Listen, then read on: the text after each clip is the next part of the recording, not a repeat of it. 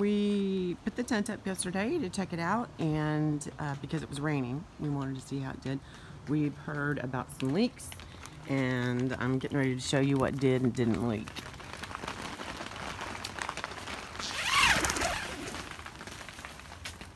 So just right off the bat, what we had was a leak right inside the door.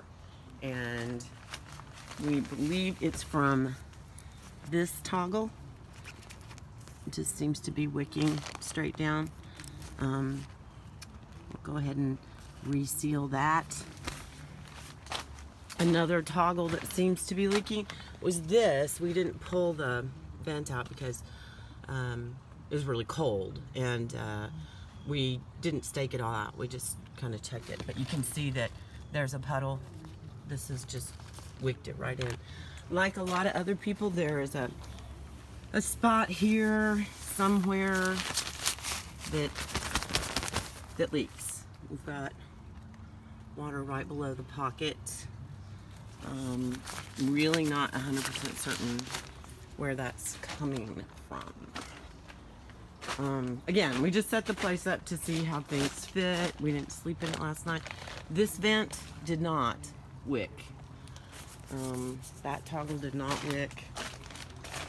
And this and the other pouch pocket, you'll see uh, water. So everybody saying that these pockets are being a problem is correct. Something that we did not have a problem with that some other people did, and I'm really happy to say this was not a problem, is where the three zippers come together on the gigantic opening. They've created this bib or skirt, little elastic, some tension, and it tapers to the center, but if it were to leak, this would probably hold it, but this is bone dry. The Even the zipper pulls are not damp.